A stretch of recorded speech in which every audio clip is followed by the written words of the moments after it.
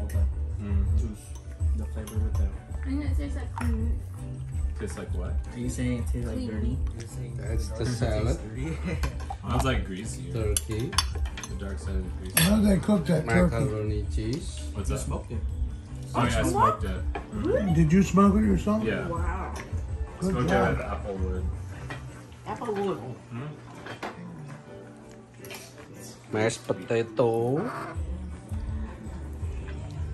That's the gravy. First time I have turkey. That's not the gravy? Oh, that's the chicken, I mean, the turkey gravy. This is the juice. Oh, chicken juice, right, Ben? Yeah. Chicken juice.